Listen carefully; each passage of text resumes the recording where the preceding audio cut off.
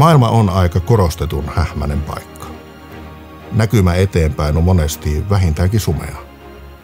Omaa tekemistä ja eteenpäin menemistä auttaa, jos pystyy vähän paremmin näkemään, missä nyt on, mistä on tultu ja mihin ollaan sitten seuraavaksi menossa.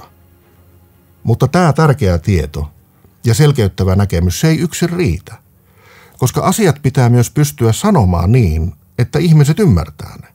Ja jokainen pystyy näkemään se, mitä kaikki tämä tarkoittaa oman työn ja elämän kannalta, että mitä tällä on väliä, mitä mä työkseni teen tällaisessa maailmassa. Koska sillä on paljon. Tämän ymmärryksen kasvun kautta toimintakyky paranee. Sen aikaansaaminen, se on mun tehtävä. Tapahtumia ja tilaisuuksia ei järjestetä eikä sanoja sanota muuten vaan. Niillä pitää myös saada jotain ajattelussa aikaan. Jos teillä on tulossa joku tilaisuus, jonka on pakko onnistua hyvin, niin laita mulle viestiä. Minä voin auttaa. Moi moi.